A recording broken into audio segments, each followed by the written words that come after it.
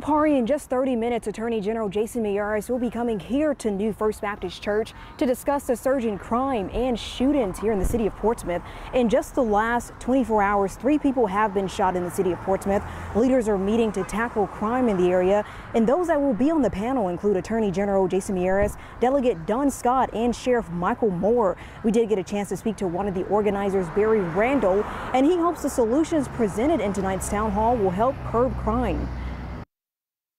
I'm hopeful that people can come together. We partner with our state legislators and, and um, attorney general to bring some type of resilience to the problem here in Portsmouth. Portsmouth is the smallest of the seven cities, and yet we are the highest in this crime area of the state.